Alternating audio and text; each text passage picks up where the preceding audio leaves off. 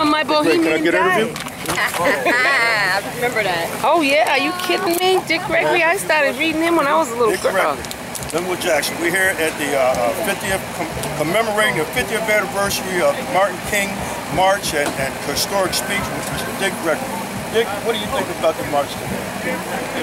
It's good. You can't compare. Now, 50 years ago, we were marching for jobs and justice.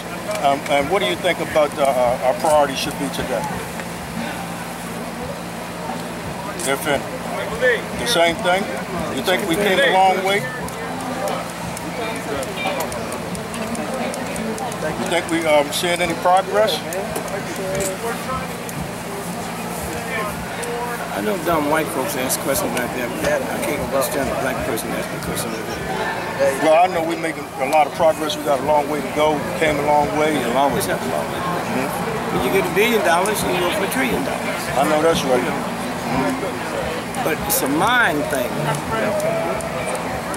Well, Dick Gregory, we love the work that you've done in civil rights all through the years, and you continue to march. As a matter of fact, I think we did a star on the, on the Walk of Fame with your name on it. You know, the Hollywood Walk of Fame needs a star with Dick Gregory's name on That'd it be for fun, sure. but we have to be validated by somebody something wrong. Well, I know that's right, and I, I know uh, uh, um, man, um, uh, the Black Eagle, Yeah. uh, uh, uh, endorses that a lot, and I'm one of his. Endorses on that one, right? there.